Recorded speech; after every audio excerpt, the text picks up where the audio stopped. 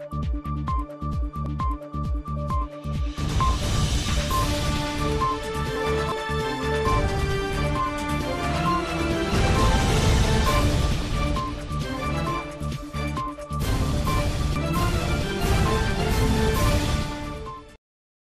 Shalini plus बातमीपत्रात मी सुनील आपलं स्वागत करतो. बातमीपत्राच्या सुरुवातीला पाहूयात हेडलाईन्स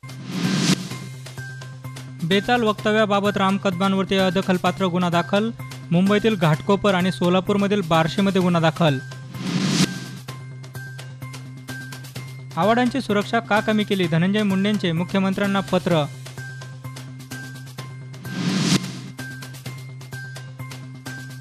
सोलापूरमध्ये घरफोडी चोरट्यांनी केला सहा लाखांचा ऐवज लंपास.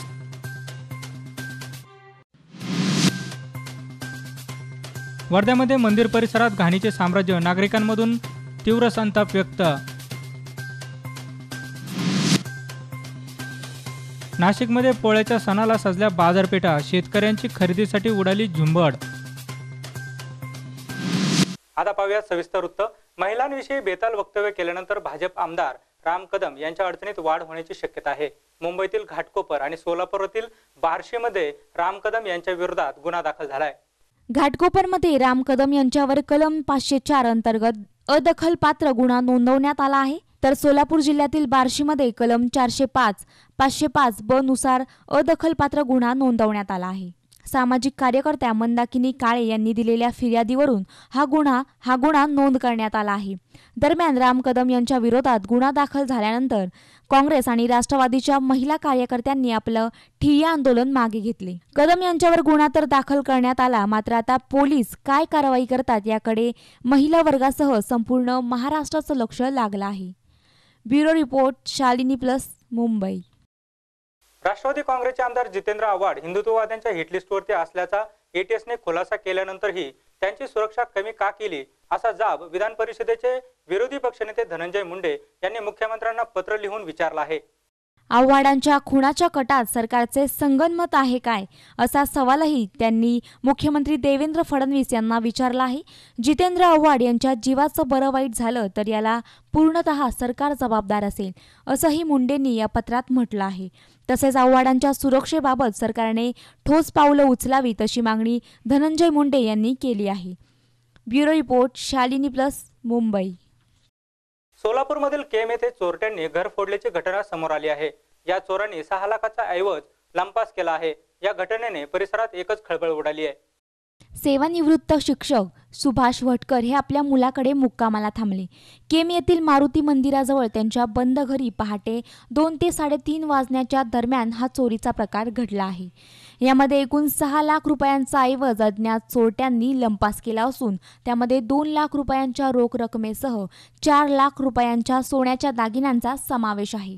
चोरी गेलेले सोन्याचे दागिने गंठन नेकलेस बोरमाळ लक्ष्मीहार कर्णफुले झुबे वेल अंगठी साखळी अशा प्रकारचे असून ते घरातील कपाट आणि तिजोरीतून पळवण्यात आले आहेत. या प्रकरणात भटकर यांनी पोलिसात फिर्याद दिली आहे. या घटनेचा पुढील तपास पोलीस करत आहेत. शालिनी प्लससाठी शीतल कुमार मोटे करमळा. वर्ध्यामधील समुद्रपूर कृषी उत्पन्न बाजार समितीत नाफेडने तूर आणि चणा खरेदी केले. मात्र लाखो रुपयांची तूर आणि चणा सडण्याच्या मार्गावर आहे. हा माल खराब झाल्यास यास जबाबदार कोण राहील असा सवाल शेतकऱ्यांनी उपस्थित केलाय. केंद्र सरकारची एजन्सी जिल्हा मार्केटिंग फेडरेशन नाफेड ने समुद्रपूर खरेदी विक्री संस्थेच्या मदतीने दोन हजार सतरा अठरा या हंगामात एक हजार एकशे तेहतीस शेतकऱ्यांच्या तेरा हजार आठशे एक्केचाळीस क्विंटल तूर तर दोनशे एकसष्ट शेतकऱ्यांच्या चार हजार तीनशे ब्याऐंशी क्विंटल चण्याची खरेदी हमी भावात केली होती. करुण येथील कृषी उत्पन्न बाजार समितीमध्ये तात्पुरती साठवणूक करून ठेवली होती. मात्र नियोजनाच्या अभावाने आजही खरेदी केलेल्या मालापैकी यातील एकसष्ट क्विंटल तूर तर दोन हजार शहात्तर सणा पडून असल्याचं येथे बघायला मिळत आहे. यामुळे भर पावसाळ्यात हा माल जैसे थे पडला आहे आणि तो सडण्याच्या मार्गावर आहे. नाफेड करून कृषी उत्पन्न बाजार समिती चाळीस लाख तर खरेदी विक्री संस्थेकडून चौतीस लाख रुपये तसेच वाहतूक भाडे यासह पाच शेतकऱ्यांचे पैसे घेणे बाकी आहे. मात्र नाफेडने या मालाची उचल का केली नाही? जर हा माल खराब झाल्यास लाखो रुपयांच्या नुकसानीला जबाबदार कोण राहणार? हा प्रश्न शेतकऱ्यांकडून निर्माण होत आहे. नाफेडने आपल्याला सहा आठ दोन हजार अठरापर्यंत माल जमा करायचा आधी सुचवलं होतं. पण यांच्याच ट्रान्सपोर्टिंगमुळे किंवा वाहतुकीमुळे त्यांनी माल त्या वेळात उचलला नाही त्यांचे पैसे न दिल्यामुळे ट्रान्सपोर्ट सहा आठ होऊनही माल अजूनही आमच्याकडे सत्तेचाळीस लाख तीस हजार सातशेचा माल शिल्लक आहे. हा माल त्यांनी लवकर लवकर लवकर उचला याला जबाबदार फेडरेशनच राहील किंवा नाफेड राहील. यात संस्था किंवा शेतकऱ्याचं नुकसान होणार नाही हे शासनाने मात्र याची खबरदारी घेतली पाहिजे. आणि हे उर्वरित शेतकऱ्याचे पेमेंट शासनाने लवकर देण्याचे प्रयत्न केले पाहिजे. दुसरं असं की संस्थेसुद्धा चाळीस लाख रुपये हा तुमची नाफेडकडून म्हणा किंवा फेडरेशनकडून आम्हाला घेणे आहे. त्यामुळे आम्ही एवढ्या आर्थिक अडचणीत आलो आहे की आम्हाला हे अनुषंगिक खर्चाचे पैसेसुद्धा देता येत नाही. हमालांचे सुद्धा पैसे देणं बाकी आहे. आम्हाला इथे टेबलवर बसणंही मुश्किल होत आहे. अशा परिस्थितीत शासनाने यावर योग्य विचार करून आहे निकाली काढले पाहिजेत प्रश्न. असं आम्हाला वाटते. व आता शिल्लक असलेला माल खराब जर झाला याला संस्था जबाबदार राहणार नाही शेतकरीसुद्धा जबाबदार राहणार नाही याला नाफेड किंवा फेडरेशनच जबाबदार राहील. Bureau report Shalini plus Wardha. Nashik जिल्ह्यातील बाजारपेठा पोळ्याच्या साजाने सजल्याचे चित्र दिसून येत आहे. पोळा हा सण उद्यावरती आल्याने खरेदीसाठी शेतकऱ्यांची लगबग सुरू झाली आहे. तसेच शेती क्षेत्रात देखील नाशिक जिल्ह्यांनी उंच शिखर गाठले आहे. मात्र आपल्या भारतीय संस्कृतीत सणवार पण महत्त्वाचे आहे. तसेच शेतकऱ्यांचा सण म्हणजेच पोळा हा सण जवळ आल्याने खरेदीसाठी शेतकऱ्यांची लगबग सुरू झाली आहे. भारत हा शेतीप्रधान देश असून यंत्रसामुग्रीकडे वाटचाल करत आहे. आणि शेतीमध्येही नवनवीन अवजारे आलेली आहे तरीही भारतातील सण समारंभाला तितकेच महत्त्व दिले जाते. तसेच महाराष्ट्रातील शेतकरी विविध सण साजरे करतात. त्या सणांमधला एक प्रमुख सण म्हणजे पोळा सण. या सणासाठी शेतकऱ्याचा आवडता प्राणी बैल म्हणजेच शेतकऱ्याचा मित्र तो त्याच्यासोबत कष्ट करतो. त्या बैलाचा सण म्हणजेच शेतकऱ्याला दिवाळीपेक्षा कमी नाही. या सणाला शेतकरी खरेदीसाठी लगबग सुरू करत आहे. या सणासाठी बाजारपेठेमध्ये गोंडे माथोडे घुंगरू तसेच घरातही पूजेसाठी मातीचे लहान मोठ्या आकाराचे सजावट केलेले बैल खरेदीसाठी आणले जातात आणि बाजारपेठा देखील मोठ्या प्रमाणात सजल्या आहेत. आज बैल नाही पोळा येतं आज गाईंचा पोळा करतो आज बैल कमी बैल कमी असल्यामुळे आज गाईंसाठी बी अ, माथोटे वगैरे बैल गायला लावतात शेतकरी. दुष्काळानंतर थोडीफार होतेच आहे खरेदी. असं नाही का बघ ती इंधन वाढ झाली वगैरे गिरक कस्टमर येत नाही काय विषय कस्टमर घेतच आहे मग एवढं काही परिणाम आहे. जर लोक आहे ना आता बैल जरी कमी असले तर आज गाईंसाठी करताय लोक पोळा. यंत्रण जरी आली तर गायीसाठी पोळा करताच लोक. असं नाही बाबा पोळा करत नाही असं काही नाही. ठीक आहे.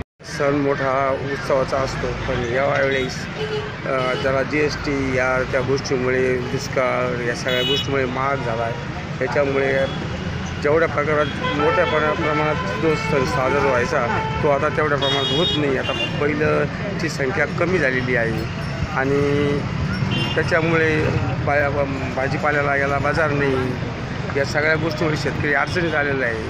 त्याच्यामुळे या बैलपोळ्यावर संकट आलेलं आहे दुष्काळाचं. डिझेल मागतं पेट्रोल मागतं गॅस माग या सगळ्या गोष्टीमुळे शेतकरी अडचणीत आलेला आहे. शालिनी प्लससाठी अमोल जाधव नाशिक.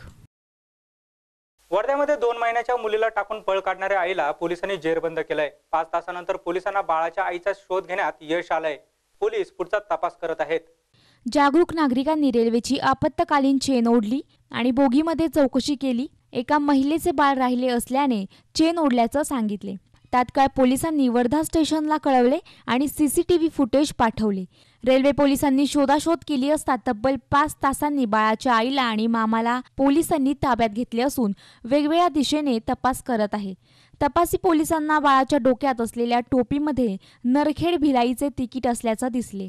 बाळ तिकडचे तर नाही ना असा संशय आहे.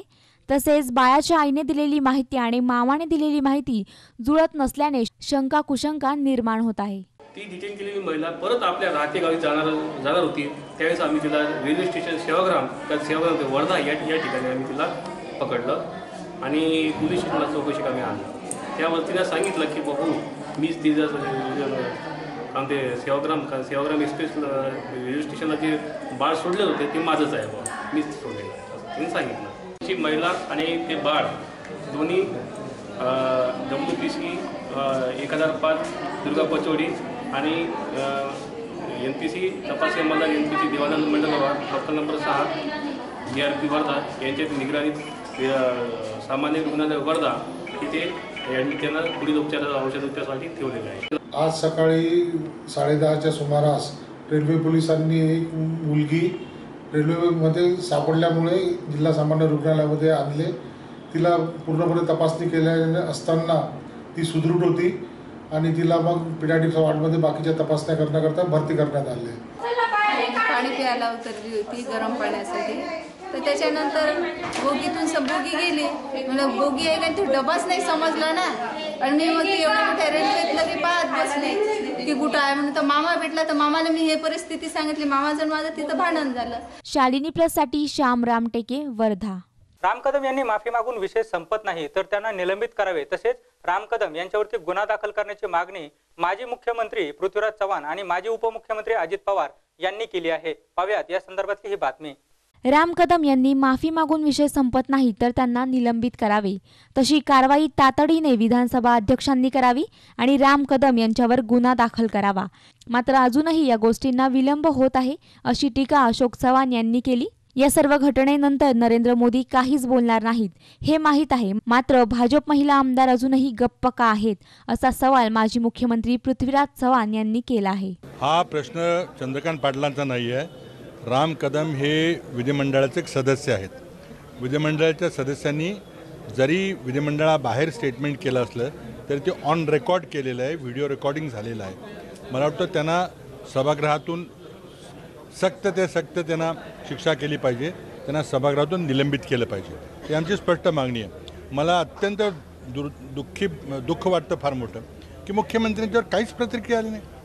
म्हणजे मला विशेष विचारायचं आहे मुख्यमंत्र्यांना की तुम्हाला याबद्दल काही वाटत नाही का? तुम्ही काहीच बोललेला नाही आहे. तुम्ही खाजगी स्पष्टीकरण काही केलं असेल काही केलं असेल तर ते त्यांना सगळ्यांचं समाधान झालं का? मला भाजपच्या महिला आमदारांना विचारायचं आहे. तर तो तुमचं समाधान झालं का? तुम्ही जेव्हा तुम्ही मतदारसंघात जाल आणि तुमच्या महिलाला उत्तर द्याल. की नाही माझा एक सहकारी राम कदम आहे ते असे बोलले त्यामध्ये काय वाईट मानायचं चुकीचं आहे? काय चांगलं झालं काय त्यात वाईट आहे? असं तुम्ही सांगू शकाल का आता? मला वाटतं मुख्यमंत्र्यांनी जबाबदारी स्वीकारली पाहिजे. याबद्दल स्पष्ट काय त्यांची भूमिका आहे पक्षाची भूमिका काय ती बोललं पाहिजे. मोदी काय बोलणार नाहीत की इतकं प्रकरण गंभीर आहे की स्वतः नरेंद्र मोदींनी यावर काहीतरी भाष्य केलं पाहिजे. पण ते करतील असं मला बिलकुल वाटत नाही. कारण बलात्कार जरी भाजपच्या आमदारांनी केला तरी ते काही बोलत नाहीत. तर ह्याबद्दल बोलतील असं मला वाटत नाही पण मुख्यमंत्र्यांनी यावर बोललं पाहिजे. त्यांचं समाधान झालेलं आहे किंवा हे काही फार मोठं गंभीर प्रकरण नाही. त्यांना काय वाटतं त्यांनी सांगावं ना. अजूनपर्यंत ते का चुप आहेत? राज्याचे माजी उपमुख्यमंत्री अजित पवार यांनी राम कदम यांच्यावर सडकून टीका केली. राम कदम यांच्यावर कारवाई करण्याचे धारिष्ट त्यांच्या पक्षातील नेते दाखवत नाही. ही खेदाची बाब आहे असे मत अजित पवार यांनी व्यक्त केले. काही जण कशा पद्धतीने वागतात? काही काही लोक किती निर्लज्जाप्रमाणे वागतात. मधल्या काळामध्ये एक आम्ही जसा आमदार आहे तसा एक भाजपचा आमदार आहे. आणि त्याने एखाद्या मुलाला मुलगी आवडली आणि तिनं नकार दिला तर आम्ही तिला पळून आणून तुम्हाला देऊ. त्याच्या काय बापाच्या घरचं आहे का? शेवटी मुलाला मुलगी पसंत करण्याचा जसा अधिकार आहे तसा त्या मुलीला पण तो मुलगा पसंत असला पाहिजे ना. एक वेळ तो मुलीला म्हटला असता की एखादा मुलगा पसंत तुला असेल तरी तो मिळत नसेल तर तुम्हाला सांग तर एक वेळ आम्ही पटवू. म्हणजे आम्हाला पटला. की खरंच भाऊ आमच्या मुलीला आमच्या बहिणीला आमच्या एका भगिनीला मदत त्या ठिकाणी होती. परंतु कुठल्या बाबतीमध्ये आपण विचार करतो? आणि चूक झाल्यानंतर ती मोकळेपणाने मान्य करून माफी मागणं तर बाजूलाच राहिलं. खेद काय व्यक्त करतात? काय स्वतःच समर्थन करतात? हे कशाची एकदा मस्ती आली? कशाची गमेंट आली? कशा पद्धतीनं वक्तव्य? हे प्रवक्ते. भारतीय जनता पक्षाचे प्रवक्ते म्हणून तुम्ही मिरवता. तुम्हाला याच्याकरता लोकांनी निवडून दिले का? या पद्धतीनं जर आपण समाजाला सांगायला लागलो तर समाज काय विचार करणार? शालिनी प्लससाठी स्नेहा गवळी पुणे. वर्ध्यातील आंदोरी येथे साथीच्या रोगावरती आळा घालण्याकरता विद्यार्थ्यांनी जनजागृती रॅली काढली. आरोग्य विभागाच्या वतीने या मोहिमेचे आयोजन करण्यात आले होते. यावेळी गावकरी आणि विद्यार्थी मोठ्या संख्येने उपस्थित होते. वर्धा जिल्ह्यातील अंदोरी आरोग्य विभागाच्या वतीने साथीरोग जनजागरण मोहिमेचे आयोजन करण्यात आले. यावेळी जिल्हा परिषद शाळेतील विद्यार्थ्यांनी गावातील मुख्य रस्त्याने कोरडा दिवस पाळा डेंग्यू टाळा आपला परिसर स्वच्छ करा रोगराईवर मात करा अशा घोषणा देत रॅली काढून गावात जनजागरण केले. या मोहिमेला मार्गदर्शन करताना वैद्यकीय अधिकारी म्हणाल्या की डेंग्यू हिवताप चिकनगुण्या गावातील नागरिकांनी योग्य सहकार्य केल्यास हे आजार होऊ शकत नाही. हे आजार आपल्या दुर्लक्षपणामुळे होतात. एडिस डेंग्यूचा डास वापरातल्या पाण्यात भांड्यात तयार होतो. आपल्या परिसरात घराभोवती नाल्या डबक्या येथे साचलेल्या पाण्यात हिवतापाच्या डासाची उत्पत्ती होते. Bureau report Shalini plus Wardha. Ram Kadam यांनी महिलांविषयी केलेल्या आक्षेपार्ह विधानाचा निषेध करत उस्मानाबादच्या धाराशिव येथे शिवसेनेने राम कदम यांच्या प्रतिकात्मक पुतळ्यास जोडे मारो आंदोलन केलं आहे. यावेळी कदम यांच्यावरती कारवाई करण्याची मागणी आंदोलकांनी केली. राम कदम यांनी गोकुळ अष्टमीच्या दिवशी उपस्थित कार्यकर्त्यांना आवाहन केले होते की तुम्हाला पसंत असणारी मुलगी तुमच्या बरोबर येत नसेल तर मला सांगा. मी तिला पळवून आणतो आणि तुम्हाला देतो. या वक्तव्याचा निषेध म्हणून शिवसेनेने शहरातील शिवाजी चौक येथे आमदार राम कदम यांच्या पुतळ्याला जोडे मारून त्यांचा निषेध व्यक्त केला आणि त्यांच्यावर कारवाई व्हावी अशी मागणी देखील केली. महिलांच्या बाबतीमध्ये जे अपशब्द त्या ठिकाणी वापरले त्याबद्दल धाराशिव शिवसेनेच्या वतीनं आज या ठिकाणी त्यांचा जोडे मारो आंदोलन करून निषेध करण्यात येत आहे. जो वागतील त्याचा शिवसेना कायम निषेध करत आलेली आहे. चुकीचं वागल्यामुळे शिवसेना हा निषेधाचा या ठिकाणी कारवाई झाली पाहिजे.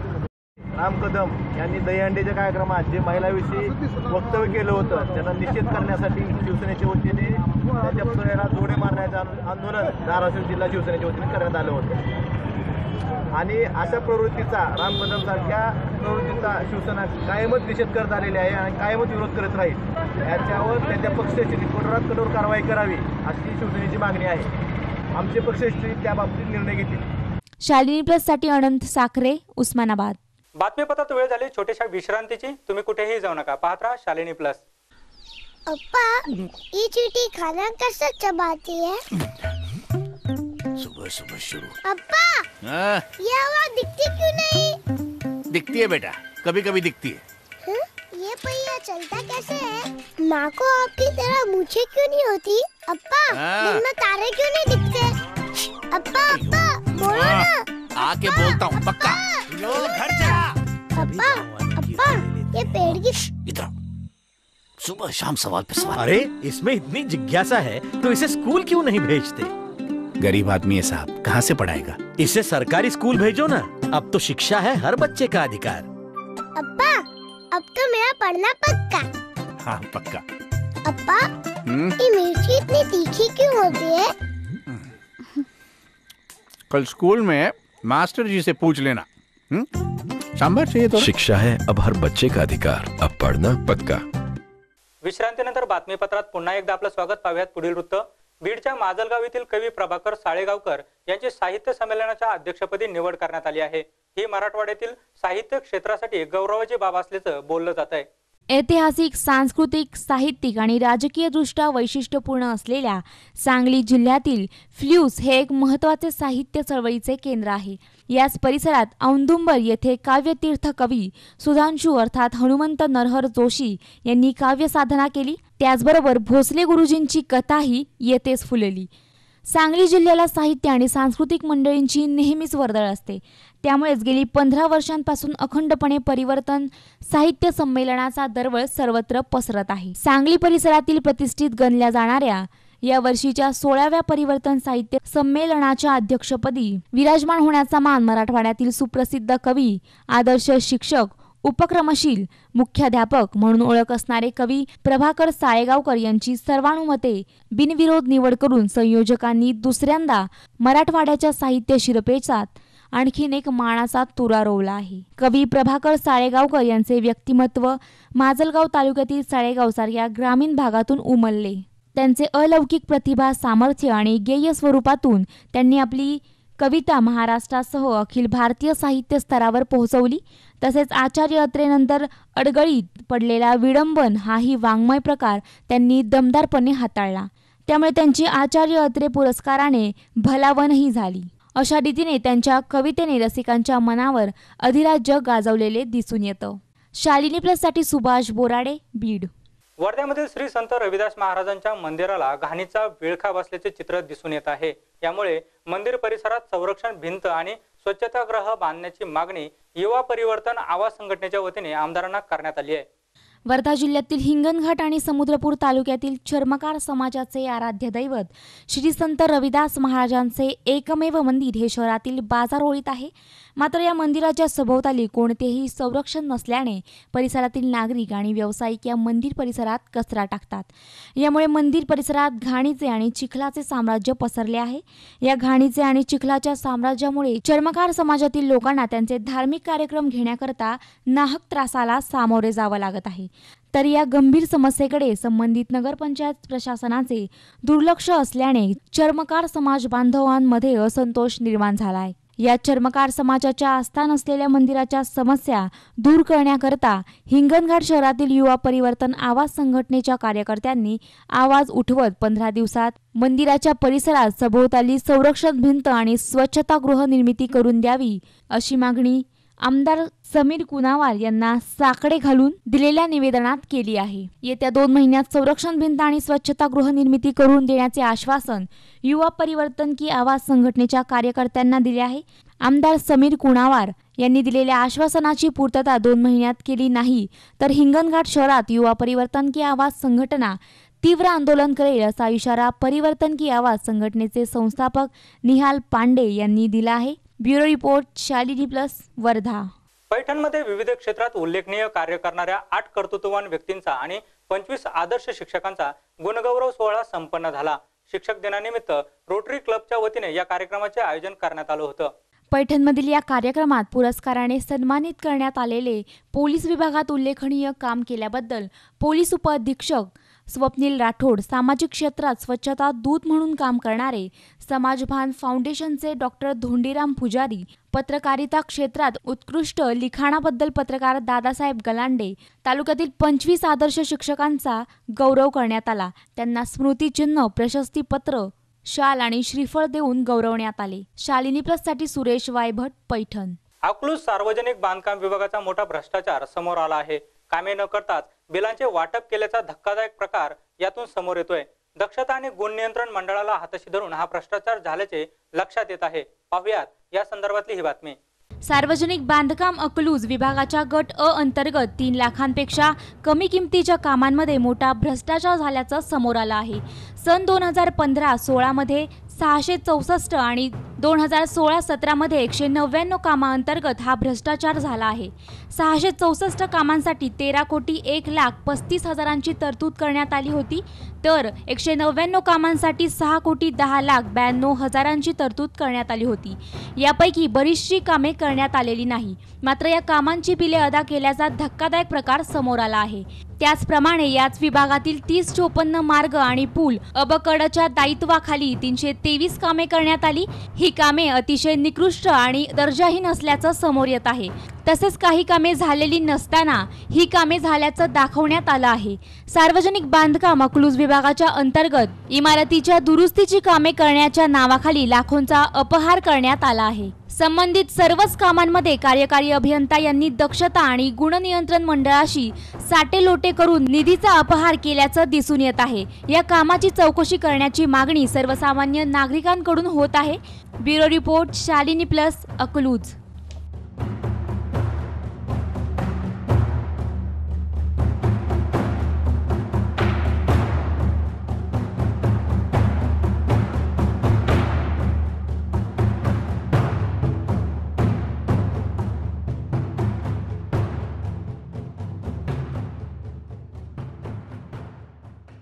भारतीय संस्कृतीतील महत्त्वाच्या सणांपैकी एक सण म्हणजे पोळा सण. या सणाला जीएसटीचा फटका बसलाय. असं असलं तरी शेतकरी मात्र बैलाच्या साजाच्या खरेदीकडे गर्दी करताना दिसून येत आहे. भारतीय संस्कृतीत पोळा हा सण शेतकऱ्यांकरता सर्वात महत्त्वाचा सण मानला जातो. शेतकरी कितीही आर्थिक अडचणीत असो मात्र तो हा सण फक्त आणि फक्त आपल्या ढवळ्या पवळ्या मित्रांची कृतज्ञता बाळगत उत्साहात साजरा करतो. यावर्षी सजावट साहित्यात जीएसटीमुळे झालेल्या दरवाढीमुळे काही का होईना शेतकऱ्यांची खरेदी मंदावल्याचं चित्र दिसत आहे. तर बैलांच्या सजावटीचे साहित्य विकणारी दुकाने सुद्धा सजल्याचं चित्र सर्वत्र पाहायला मिळत आहे. टीलमध्ये जे आहे पितळचा माल ते वीस टक्क्यांनी महाग झालेला आहे. मागच्या वर्षी चारशे रुपये किलो होते यावर्षी चारशे ऐंशी रुपये सर्दी झाली. तर आम्ही ते सहाशे रुपये किलो विकत आहोत पितळ तसेच दोर वगैरे वीस टक्क्याने महाग झाले. आणि म्हणजे सर्व येसन वगैरे सगळी महाग झाली. येसन पण हे वीस टक्क्याने महाग झाली. रंग पण महाग झाला. जीएसटीमुळे जीएसटीमुळे सगळ्या जीएसटीमुळे वीस टक्के ते पंधरा टक्के प्रत्येक वस्तूवर वाढ झालेली आहे. आणि याचा फटका त्या सर्वसामान्य माणसाला पडत आहे. शेतकऱ्यांना. शेतकऱ्यांना सर्वसामान्य शेतकऱ्यांना.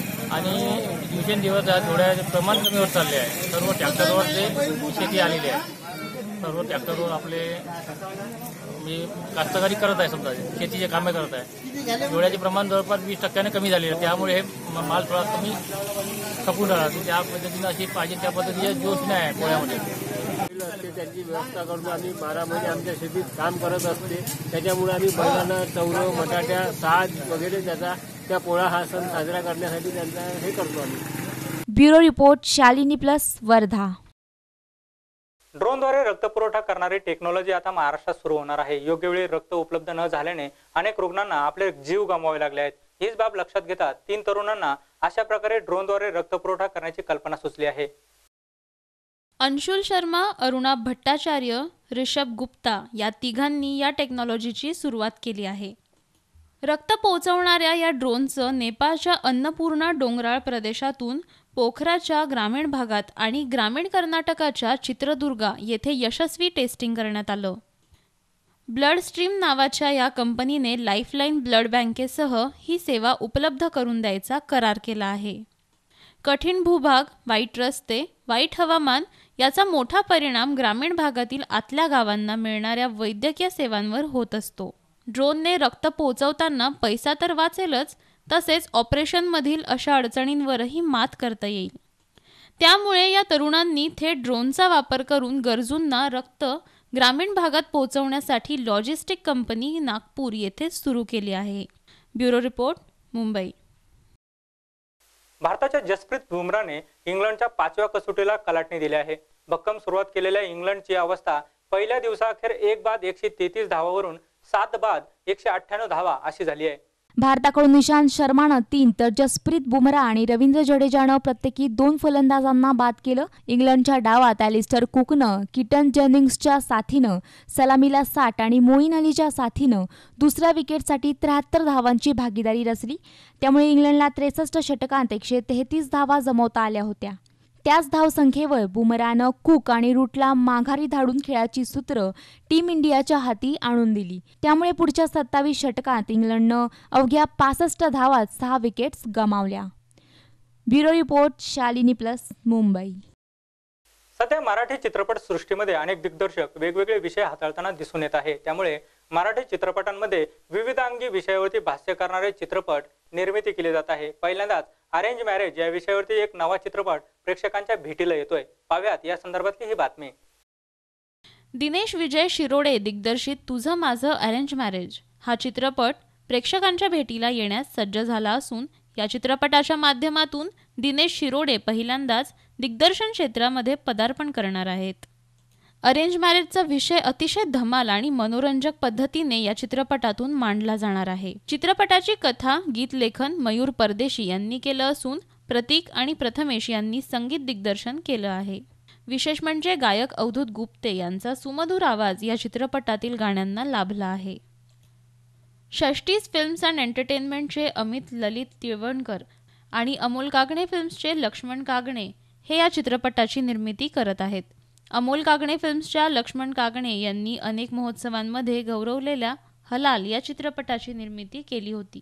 तसेच ते लेथ जोशी परफ्यूम या चित्रपटांचे प्रस्तुतकर्तेही आहेत. नेहमीच वेगळा विषय त्यांनी चित्रपटातून मांडला असल्याने तुझं माझं अरेंज मॅरेज या चित्रपटाविषयी नक्कीच उत्सुकता निर्माण झाली आहे. Bureau report Mumbai. शेवटी पुन्हा एक नजर टाकत आजच्या हेडलाईन्सवर बेताल वक्तव्याबाबत राम कदमांवरती अदखलपात्र गुन्हा दाखल.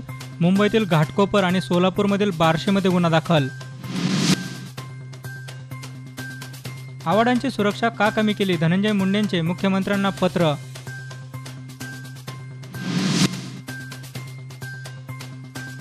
सोलापूरमध्ये घरफोडी चोरट्यांनी केला सहा लाखांचा ऐवज लंपास.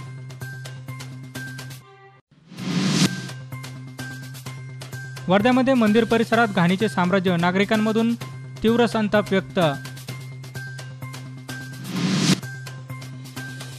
नाशिकमध्ये पोळ्याच्या सणाला सजल्या बाजारपेठा शेतकऱ्यांची खरेदीसाठी उडाली झुंबड. बातमीपत्रात तुर्तास वेळ झाली इथेच थांबण्याची. ताज्या अपडेट आणि घडामोडींसाठी पाहत राहा शालिनी प्लस. प्रतिबिंब वास्तवतेचं. नमस्कार.